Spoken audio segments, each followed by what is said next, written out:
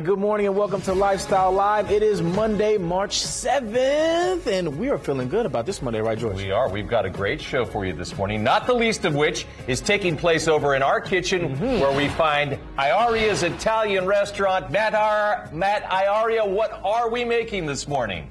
Well, right now I'm making a little bit of a mess, yeah, we like that. but this is also just like a seafood stew.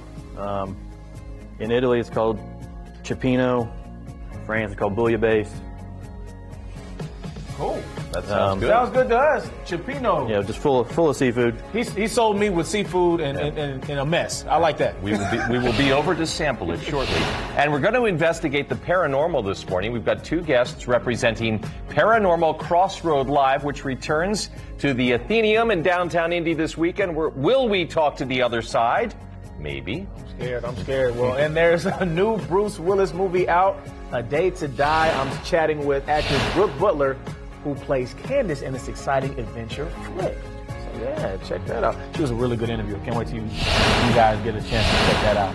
All right, guys. Today's question of the day is brought to you by Kitchen Saver Custom Cabinet Renewal. Did you make a New Year's resolution? And if so, how's it going? Mm-hmm. What about you, George? Well, I, I, I said that I don't want my kid riding bulls this year, but mm-hmm. apparently I've lost that battle. I like So- the, I like the fact that you lost that battle because that's Yeah. exciting stuff. It is I mean, probably stuff. not. For, as a parent, I can imagine that's the wrong type of excitement. Well, okay, these are always so hard to read. But Yeah. Corinna Yeah. says, to be happy, working wonderfully, I am happy. Mission accomplished. Mission accomplished. Tammy says it wasn't really a New Year's resolution, but I decided to eat healthier and take better care of my body. I'm still trying. Some days are better than others. Tammy, I'm with you on that. And Karen says, I don't make resolutions because I learned a long time ago I never am able to keep them. All right. All right. All right. Cool. Cool. Cool. Cool, guys. Well, I like I like the one about uh, eating better, living better. But right now, I, I'm feeling pasta. Let's go eat better. You feeling pasta? Let's go eat better.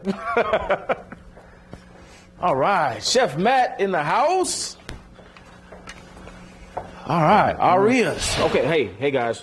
Um, I- I'm liking what I'm seeing here, George. You see how I beat you to the spot? Yeah, I did. I, I noticed that. Ch- Chopino Chipino. is the correct pronunciation, correct? All right. Yep. Or close. Um, some He people call close. it Yeah. Cipiano. Kind of depends on like where you're at in the country. Okay. Um, I feel like it's called Cipiano in In like, some spots? San Francisco. It kind of originated in San Francisco. Now, Okay. just before we walked over, I saw you put a whole bunch of stuff in there. Kind of Yeah. run us through what all that stuff was.